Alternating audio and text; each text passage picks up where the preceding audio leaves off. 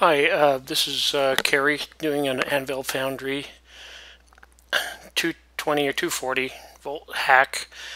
Um, I have a three prong dryer outlet that's available, so I picked this uh, Leviton Model 287-T, and it's just an empty, empty socket. Then you put your own cord into it. I had a uh, 10 gauge wire, which probably way, way overkill but uh, that's what I had and so those two um, top prongs are going to be red and uh, black usually red and black.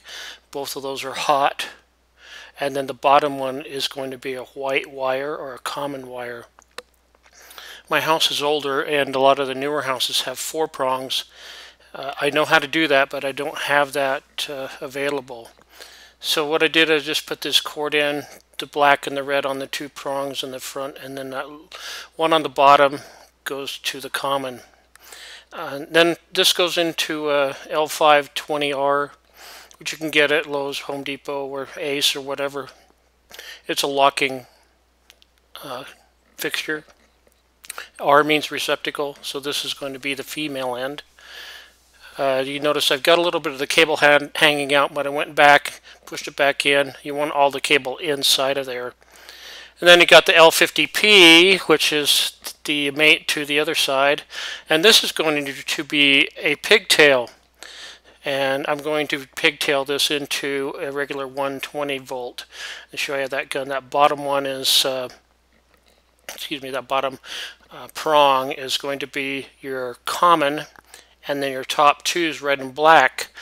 Uh, but when you get into this, you'll see that a 120 system won't have red and black. They'll have red and white or black and white, usually black and white and green.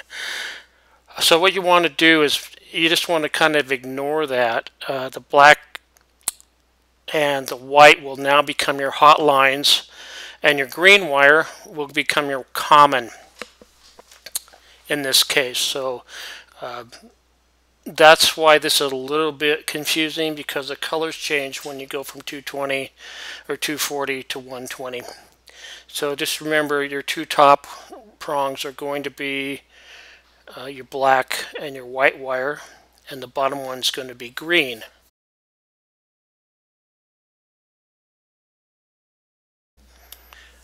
Now you have um, your 120 outlet. Uh, you want to uh, make sure that uh, you line up your colors correctly.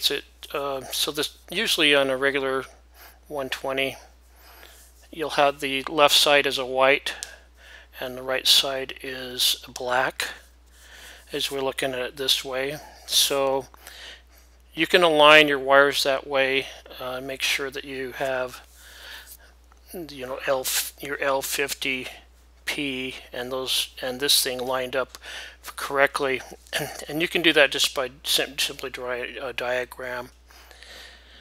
So this will now go into the anvil and it will detect uh, 220 volts and this is the pigtail when it's completed.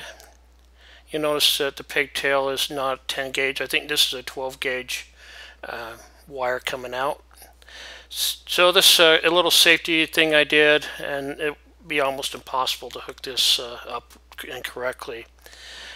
In a later video, I'm going to actually open this back up and show you how I wired the inside. Hopefully this can help you guys transfer to a 240 volt system. Hey, thanks for watching.